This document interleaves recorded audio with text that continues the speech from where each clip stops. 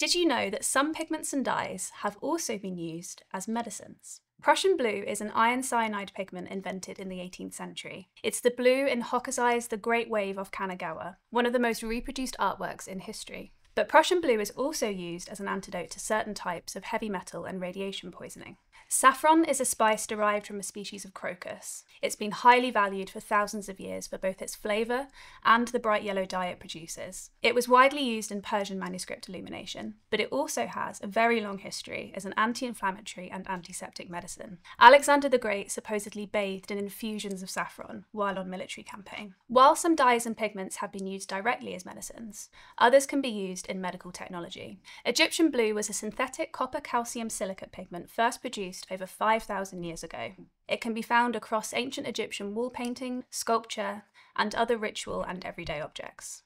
The amazing thing about Egyptian blue is that it fluoresces near infrared light.